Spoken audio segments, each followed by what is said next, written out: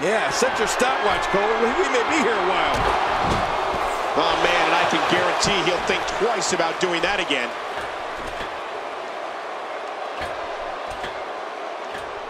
You got to move quicker than that.